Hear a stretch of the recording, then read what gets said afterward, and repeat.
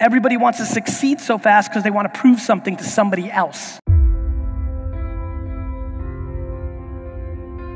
So only thing that's in your hands is effort.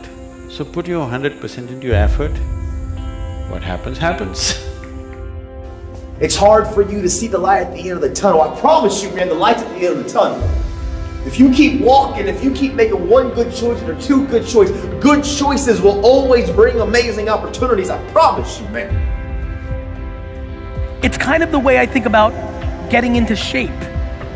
You've heard for 20 years that it's exercise and eating right. You just wish it was a pill. It won't be instantaneous. I know we want that, but it's not. Greatness takes time.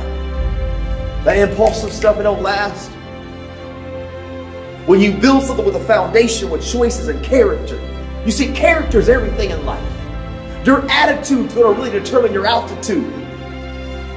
Now I need you to be patient because I need you to give your gift time to mature. All right? I need you to fully develop. And that's how I think about business. It's not very complicated. You have to have a good product, and then you have to ha- communicate that product and service, and then you have to do that over and over and over again, and then something good will happen. When you're producing for more likes, when you're producing for more subscribers, when you're producing for more money, when you're producing for more fame, it makes you vulnerable. Why are you building up so much debt in your mind with negative self talk, limiting beliefs, thinking you're not worth it, low confidence, comparing yourself to other people? You're trying to get there too fast. Relax. It's gonna come. I'm trying to tell you to hold on. Why? Because it's all coming together. Yet, everybody wants to know how to get from zero to a million dollars or from zero to a million followers fast. Everybody wants to get to a place very few are willing to sacrifice to get there. Patience, the mental fortitude, the mental strength to keep on going when you have absolutely no physical evidence around you that is saying you can make it. Just keep going, and I promise you, man, one day your dream is going to be a reality. Fast is fundamentally the scariest word for me in business.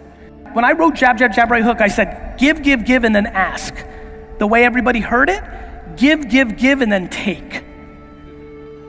We have to slow down. If you actually thought about your life in a 50 year window or an 80 year window, you would slow down. We're all puppets of our subconscious mind. That's what's pulling the strings, but those same strings that are being pulled are pulling you away from what you truly want, who you truly are. What are you doing to yours? Don't build up the debt, build up the credits because eventually all that debt, the negative talk and the negative actions and habits that you're building up is wiring that subconscious mind that's pulling the strings. That debt you're building up needs to be replaced in the future with positive talk, with positive self beliefs, with confidence, with belief that you can go after what you want and you're worth it produce to bring value to the other party, so much so that it guilts them into doing business with you. I mean it. You want to really build something meaningful? Think about producing content in a way that is so valuable that it guilts people to do business with you. That is how I see brands that win win. So there's some of you, you're trying to get there too fast. Relax. It's gonna come. So what happens if you get there too fast and you're not patient? Some people have gotten to fame and lost their families. They've lost their wives. They've lost their riches, right? They've lost their wealth. They lost their influence, right? They lost their name. Listen to me, in a good name, man, it's hard to get a good name. It's even harder when you lose it to get it back. So be patient. We live in a world where people lack patience. We just don't have patience. And I promise you that if you're able to, whether it's financially or emotionally, put yourself in a position to have patience, you have a far better chance of succeeding. Your decision making path becomes far clearer and you build much more leverage to actually build wealth or work life balance or legacy or whatever makes you tick.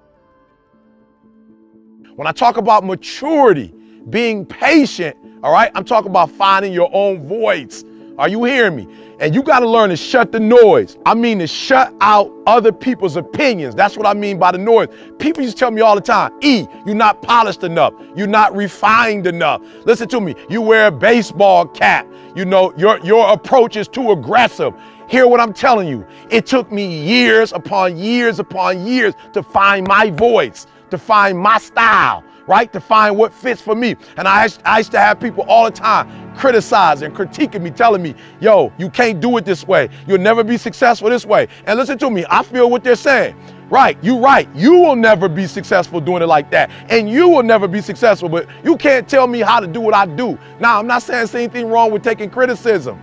Are you hearing me? I'm not saying there's anything wrong with taking criticism. But what I am saying to you is this you have to find your own voice. So be patient and give yourself enough time to find your own voice, man. Hey, it's your boy ET. Remember, without struggle, there is no progress. Everything that has happened that's been good to me is slow. How many people here are under 31 years old? Raise your hands.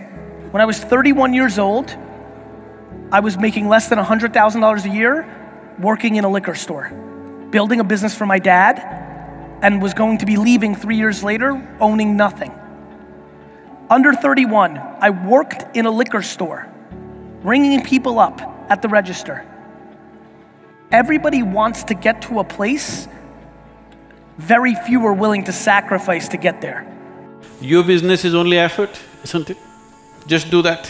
For all these things to happen, you need perception and intelligence. So that's all you must do in your life. Constantly looking for ways to enhance your perception and your intelligence. Rest will anyway happen. This is one thing that unfortunately humanity is not doing. They're trying to become capable of something. Do not try to become capable of something.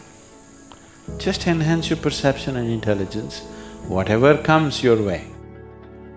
Is your current lifestyle sustainable and getting you to where you want to be? Whatever's not serving you, whatever is not creating the correct neural network, hit the delete button now. I want you to think about it, eliminate it, say to yourself, my low self worth, I'm going to delete it. My low confidence, I'm going to delete it. And I'm going to replace it with I am worth it. I am worthy of receiving.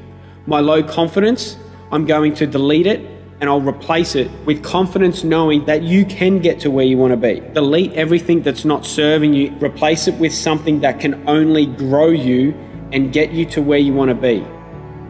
Look, you know you want more, you know you want growth, you know how to change it, you know what to do to identify what's holding you back. So let's take action today. Let's take action now and move forward and create that dream, that vision that beautiful life that's yours, true to you, and be an inspiration for others and the people around you.